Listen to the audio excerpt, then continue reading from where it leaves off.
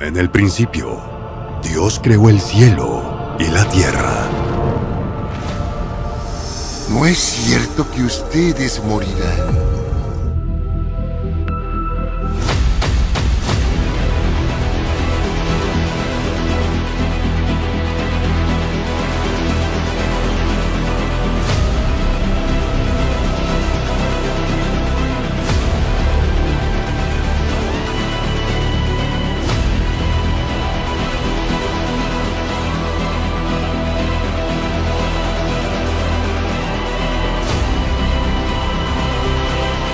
Y después de estar colgado en la cruz durante muchas horas, Jesús dijo, consumado es.